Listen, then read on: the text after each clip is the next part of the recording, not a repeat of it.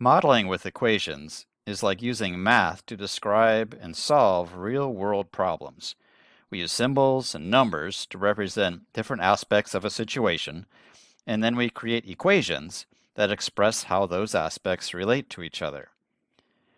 By solving these equations, we can make predictions and find solutions to various problems in science, engineering, economics, and more. It's a powerful tool that helps us understand and tackle a wide range of challenges in the world around us. Before we write a model with an equation, let's take a look at a model using a table. Here, Judy starts 300 feet due south of the park and walks directly toward the park at a constant speed of 5.4 feet per second. And our job is to complete the table here. Now we're told that Judy starts 300 feet from the park. So after zero seconds of walking, she will be 300 feet from the park. Now every second, she walks 5.4 feet per second toward the park. So she's getting closer to the park, so this distance is going to get smaller. So with each second, we're going to subtract 5.4.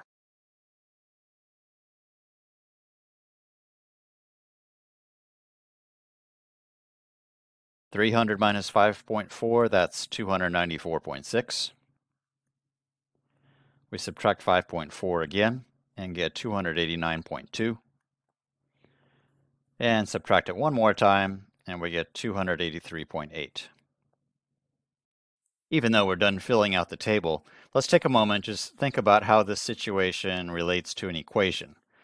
In particular, we're going to use the slope-intercept form of a linear equation, y equals mx plus b.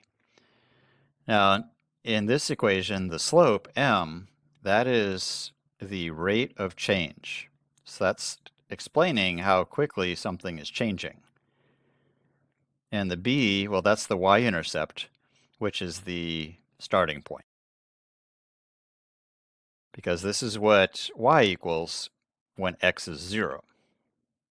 It's also the y-intercept. So in this case, well, our rate of change is negative 5.4, because that's how much closer she's getting to the park each second. So it's negative 5.4 times the number of seconds plus 300, our starting point. So this equation is going to subtract 5.4 for every second that she walks. Let's do some more modeling with equations. The Canadian Census Agency predicted that the population of Alberta would be about 17 million in 2010 an increase by 3 million per year until 2030. Write an equation in slope-intercept form to model this situation, where x represents the number of years since 2010, and y represents the estimated total population of Alberta in millions.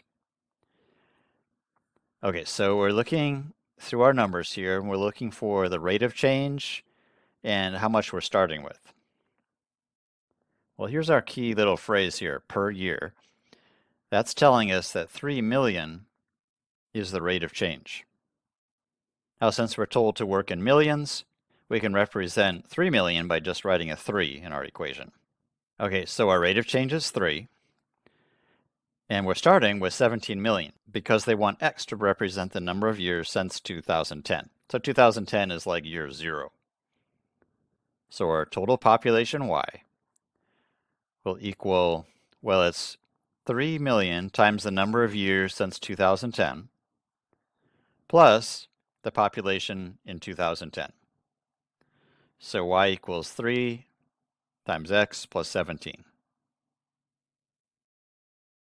Now, a plumber charges a base fee of $120 plus $90 for each hour of service.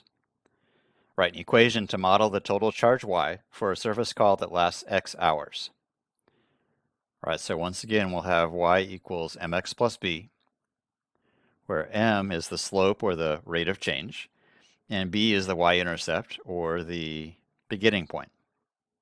$90 for each hour of service, The key phrase there would be for each hour of service. That's our rate of change. The plumber is adding on $90 for each extra hour of service.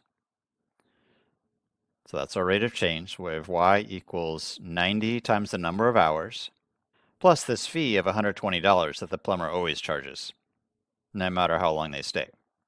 So we have y equals 90x plus 120. For an upcoming test, when a student does not study, their predicted score is 57.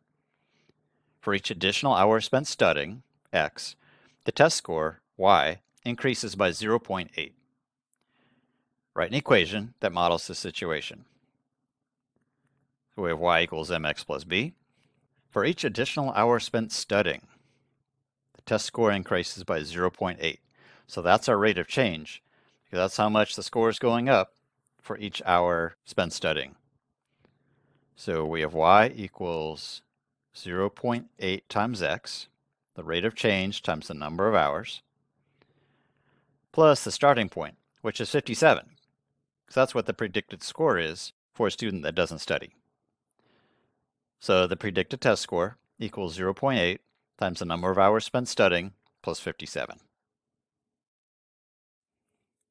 Now let's practice not only writing the models, but also using them. The number of students in Antoine's class, 32, is 11 greater than the number in Frank's class. How many students are in Frank's class? Okay, so we, we already know the number of students in Antoine's class is 32. And it says 32 is, or in other words, 32 equals. Let's make a note of that here. 11 greater than the number in Frank's class. Okay, well, let's have x be the number in Frank's class. And this 32 is 11 greater than that. So that would be the number in Frank's class plus 11. So the number in Antoine's class is 11 greater than the number in Frank's class. Now we'll go ahead and solve our equation. And we just figured out that Frank's class has 21 people in it. Now the previous question, we might have been able to solve that a little bit easier without an equation. Let's try one here that's probably easier with an equation. The sum of 3 times a number and 7 is 18. Find the number.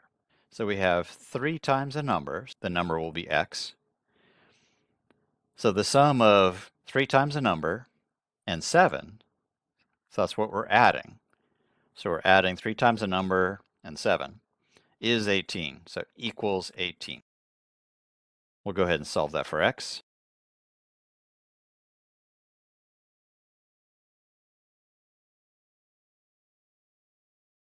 Now we get a fraction here, so we'll probably want to double check this. So our number is 11 thirds. If we multiply that by 3, and add 7, we're wondering, do we get 18? Let's see, 3 divided by 3, that's just 1, so those cancel out. So we have 11 plus 7, that does equal 18. So it looks like the number is 11 thirds. Now that probably would have been a pretty difficult number to guess in this case. So sometimes a model is a good way to solve a problem. Finally, we're going to find two consecutive even integers such that 4 times the smaller integer is 68 less than 7 times the larger integer. So first of all, consecutive even integers.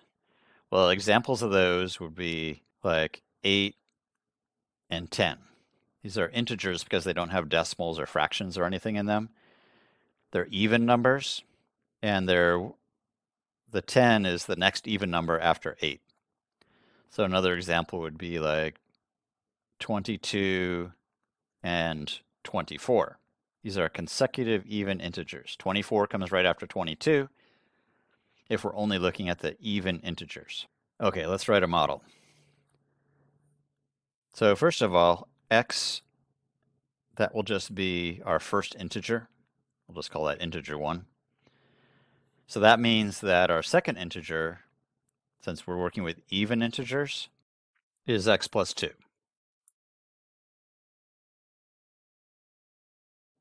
Okay, we want 4 times the smaller integer. So let's just say 4 times x is 68 less than 7 times the larger integer. Well, integer 2 is our larger integer, so we have 7 times the larger integer But we want 68 less than that. So minus 68. All right, so we have 4 times the smaller integer is, so there's our equal sign, 68 less than 7 times the larger integer. All right, here's our model. Let's go ahead and solve this equation to figure out our two integers.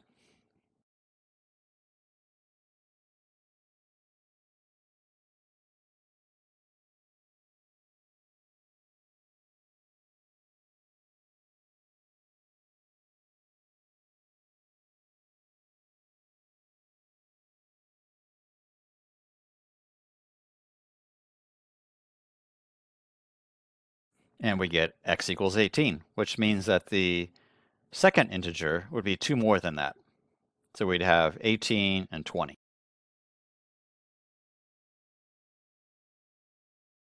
All right, so it turns out that 4 times 18 is equal to 7 times 20 minus 68. All right, I hope these examples have been helpful. This is Mr. Ela signing off.